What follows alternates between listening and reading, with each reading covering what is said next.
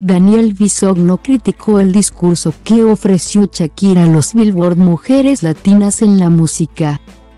Shakira fue reconocida con el galardón de Mujer del Año en los Billboard Mujeres Latinas en la música, por lo que ofreció un sentido discurso, sin embargo, a Daniel Bisogno no le gustó nada. Las mujeres somos mucho más fuertes de lo que pensamos, somos más valientes de lo que creemos que somos. Creo que somos más independientes de lo que nos enseñaron a ser, fue parte del discurso de la cantante colombiana.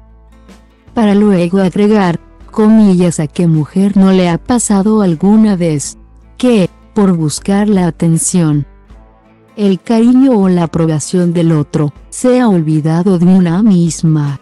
A mí me ha pasado más de una vez.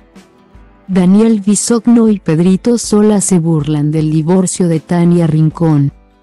No importa si alguien te es fiel o no te es fiel, Shakira da poderoso discurso al ser nombrada Mujer del Año. Daniel Bisogno y Ventaneado vuelven a atacar a Yuridia y se burlan descaradamente de su depresión. Ya no importa tanto si alguien te es fiel o no te es fiel, lo que importa verdaderamente es si sigues siéndote fiel a ti misma. Fue lo que mencionó Shakira sobre la infidelidad de Piqué en su discurso.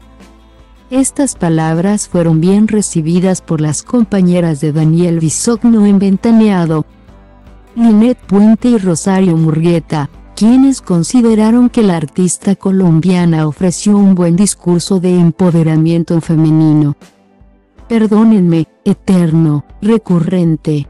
Hemos escuchado eso mil veces. Ya bastante dijo con la canción Music Sessions número 53, y con lo que ha cobrado como para seguir todavía con eso.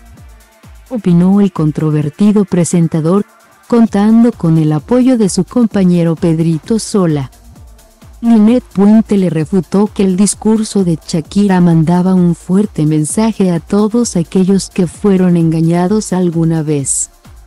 ¿A qué pueden seguir adelante sin esa pareja que los hizo sufrir? No obstante, para Daniel Bisogno fue un exceso por parte de la colombiana seguir sacando el tema de la infidelidad. Además que demostró que seguía ardida,